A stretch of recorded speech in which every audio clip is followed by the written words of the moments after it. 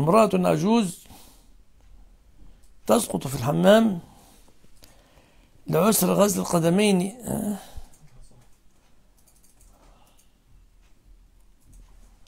في الوضوء هل يجوز لها المسح عليه؟ تسقط في الحمام لعسر غسل القدمين.